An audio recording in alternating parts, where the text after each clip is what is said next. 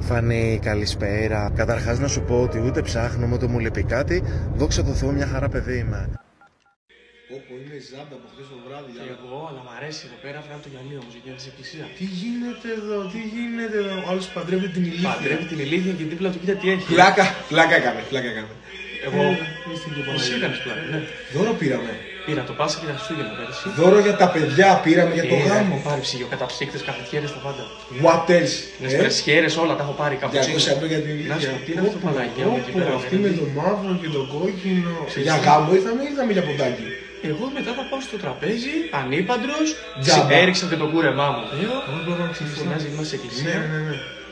Είσαι χαρούμενος που παντρεύεται ο άλλος; Πα- Εμένα δεν με νοιάζει αυτή τη στιγμή καθόλου. Ναι, καθόλου, ούτε με Αυτή με το κόκκινο ποια είναι; Αυτή είναι από τη μεριά Ναι.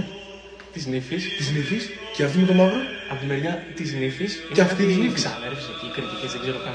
Δεν μας έχει γνωρίσει ποτέ. Να σου πω κάτι, του λες κλείνει το μάτι. Ναι. Μμ; Κάτι πρέπει να τσίπεις στο Τι μάτι. έγινε,